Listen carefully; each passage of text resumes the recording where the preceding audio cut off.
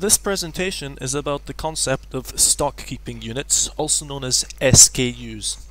Stock keeping units are a really fundamental part of any warehouse, but they're really important in humanitarian settings as well, because the way you choose to define your SKUs and the way you work with them can really reduce the chance of making mistakes and improve the accuracy of stock keeping in a warehouse. In this presentation, I'm going to introduce the concept of SKUs, we're going to talk a little bit about why they're important, how to make a good SKU, and I'm going to include a few examples to try to put this knowledge into context.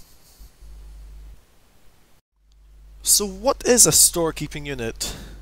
Well, a storekeeping unit is basically the building blocks for how we record and account for everything that's going on in our warehouse. An SKU is just a thing, an item in our warehouse that we've defined in a particular way. Every stack of items in our warehouse is different in some way to every other stack of items, so each SKU is different to every other SKU. Each SKU has these attributes, properties, or features which make it different to every other SKU. Some of these features are as shown on the screen. In humanitarian warehouses, we normally are worried about who owns the particular item. Uh, that could be the project that the item is for, or it could be the donor who donated the item. We have to track the expiry date of perishables. And we also, in the SKU, define how we count items. Uh, do we dispatch in kilograms? Do we dispatch in bags? Do we dispatch in pallet loads? Finally, each SKU also contains a designation, which is basically just a short phrase that describes the item. So, an SKU is not a piece of paperwork, it's not a form. It's really just a combination of information relating to a particular item in your warehouse.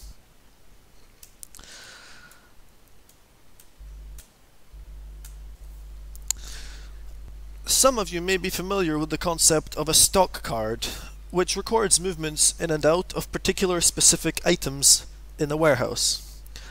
The information at the top of the stock card is basically the SKU. You have the item description, here you have the donor, which represents the owner, you have the expiry date, although in this case it's blank, and you have the unit of measure on the top right here. You know that this particular item is measured in sets. So firstly, let's talk about the designation.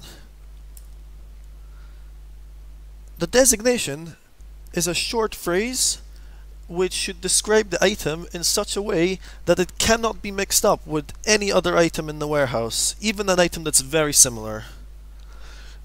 Using just the designation alone, somebody who is not a logistics officer should be able to go to the warehouse and pick out exactly the correct item they should not be able to mix it up with another very similar item. The designation does have to be short and concise though, it does have to fit on this paperwork.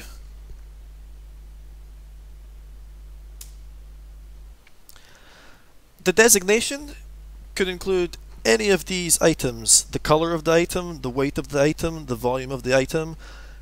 Picking what to put in your designation is a matter of judgment. For example, knowing the weight of a bag of sugar would be a really useful way of keeping track of that exact bag of sugar. But knowing the weight of a tarpaulin is not so useful. For the tarpaulin, you might decide to describe it as a blue tarpaulin or a tarpaulin with UN logo, something like that. Okay, let's take a quick example. Let's imagine you have just received a shipment of this item, a shovel. How would you go about selecting a designation for this item? Well, you have to choose a designation which makes sure that this shovel can't be mixed up with any other type of shovel. Even if you have no shovels in your warehouse just now, it's quite possible that in future there will be more shovels delivered. So your designation has to be good enough to make sure that those shovels can't be mixed up with this one. Here are some of the attributes of the item which you might choose to include in your designation.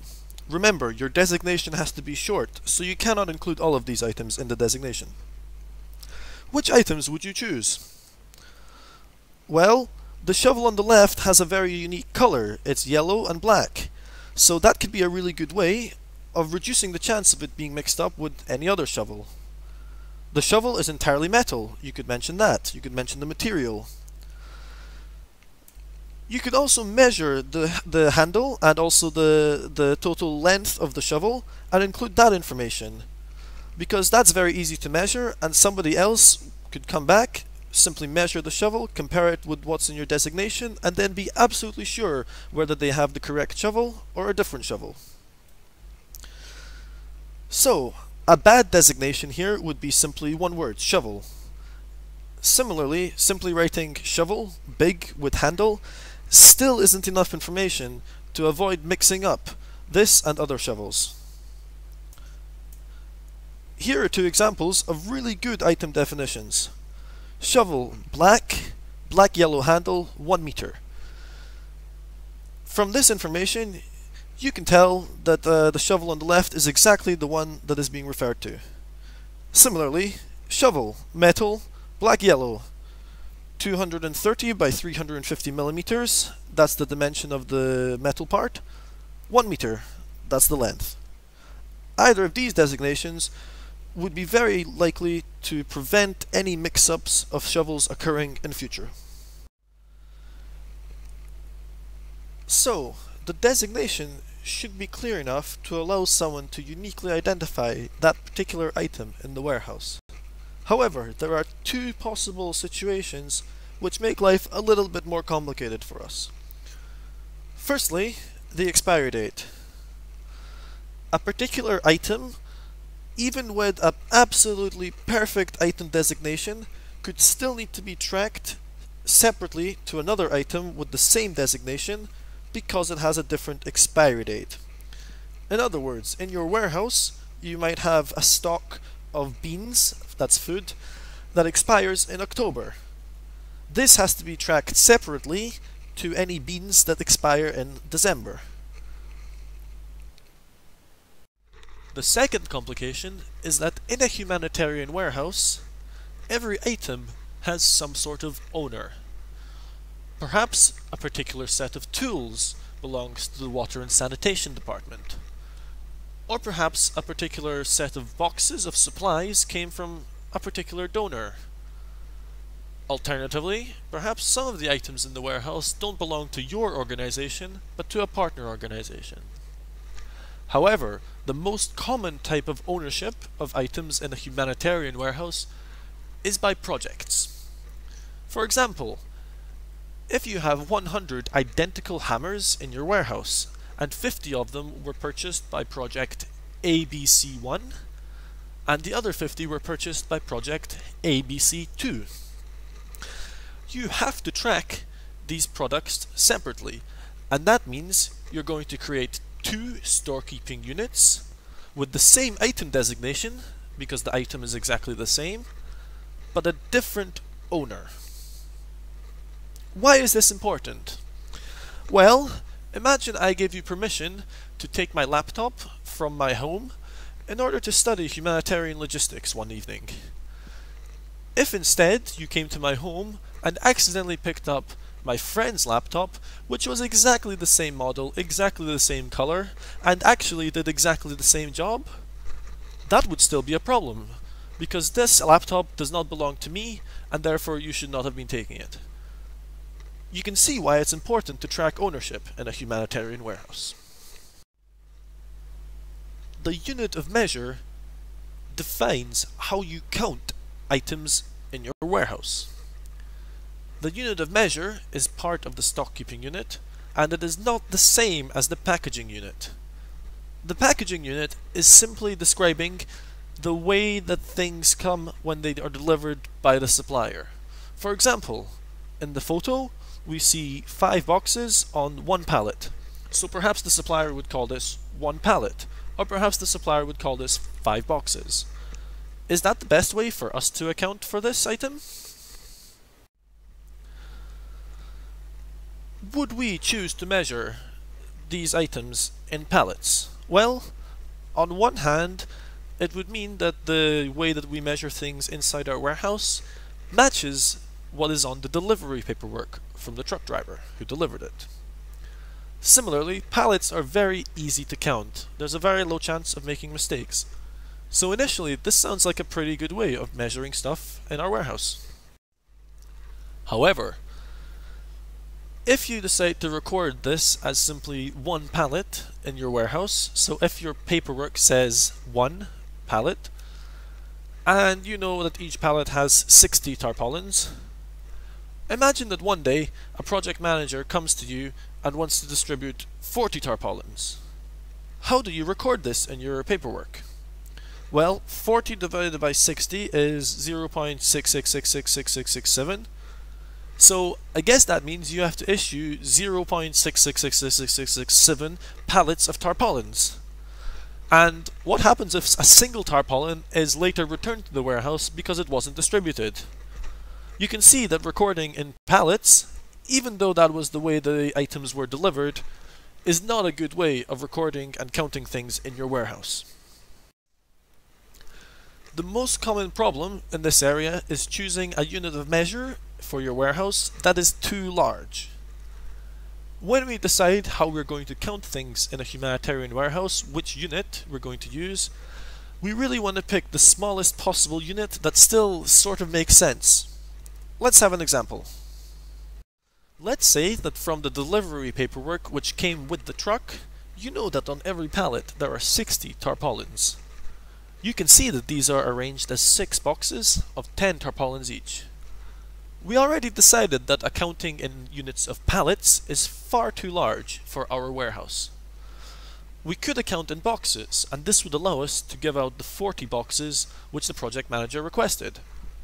However, perhaps the project manager the next day will request 41 or 39, or he'll bring back an individual tarpaulin. The correct unit of measure for this case is the individual tarpaulin, because this is the smallest unit which still makes sense. It's really unlikely that the project manager will come to you and ask you to cut a tarpaulin in half and then leave half in the warehouse and take half with him. The tarpaulin is a unit, is the smallest unit you can possibly have, so therefore we should account in individual tarpaulins. What about if our delivery was of rolls of tarpaulin material and not individual tarpaulins.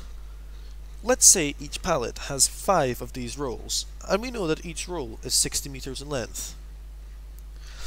Accounting in pallets is probably not helpful for the same reason as before. 60 meters of tarpaulin material is quite a lot. In fact, it's very likely that someone will come to the warehouse and ask for 10 meters length or 20 meters length. So they will cut part of a roll and take that with them. The best choice for the measuring unit in this case is the is, is part of a roll. In this example, we could have a designation of tarpaulin UNHCR 4 meter width rolls. The unit could be meters of length. One roll would be 60 meters of length, so therefore one pallet would be 300 meters of length. If you received one pallet of this product, you would account that as receiving a 300 meter length of this des designation of this SKU. Here is another challenging example. Imagine you have taken delivery of several boxes of nails. There are five different sizes of nails, so you have to create five stock keeping units, because each of these nails is different to the other. The designation of each stock keeping unit would probably include the length of the nail, the size of the nail, and also the type of nail. These are concrete nails, but that information is available on the packaging. What unit would you choose to account these nails in once they were inside your warehouse? Well, it might be possible to account in boxes of nails. However, a box can be quite a lot of nails, especially if it's a large box.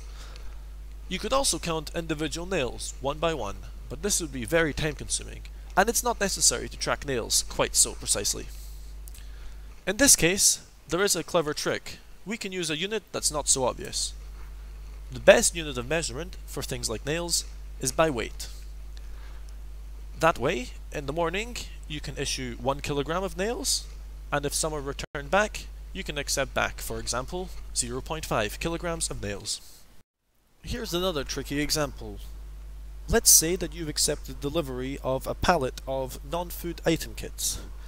Each kit contains five different items. It's a bag inside which there is a set of cutlery, a bar of soap, a towel, and so on.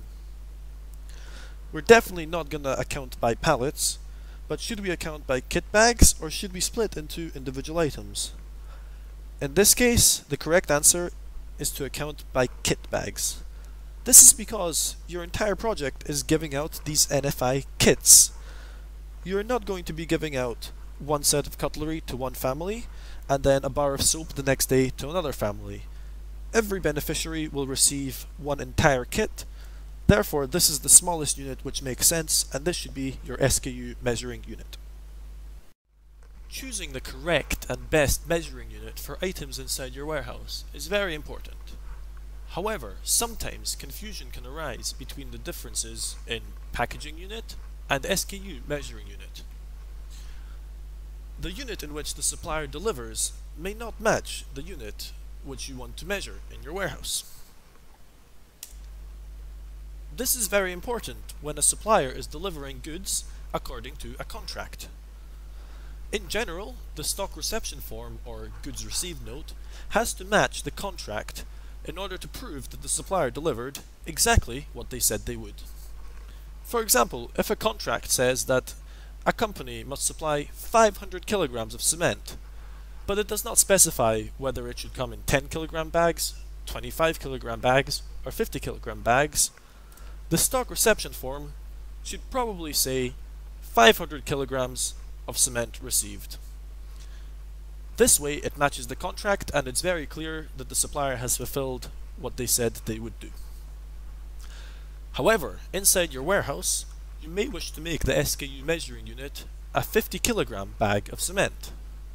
In this case, it is helpful to note on the stock reception form or goods received note that the bags came as 50 kilogram bags each.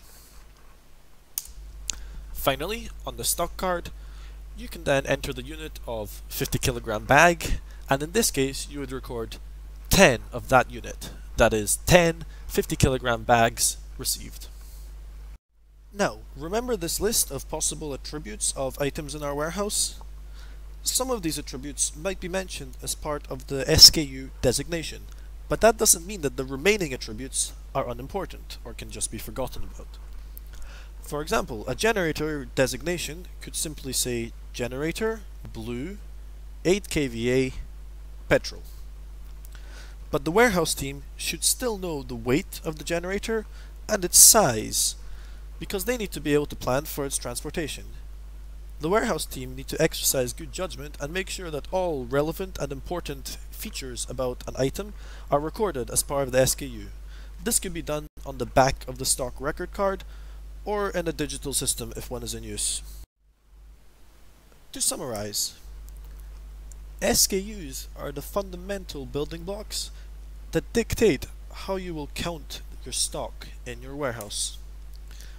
They define what you consider to be a unit for the purposes of accounting. These are the main elements making up an SKU. And the measuring unit is not necessarily the same as the unit in which the items are delivered. It's important to clearly note and record these differences to avoid any possible confusion.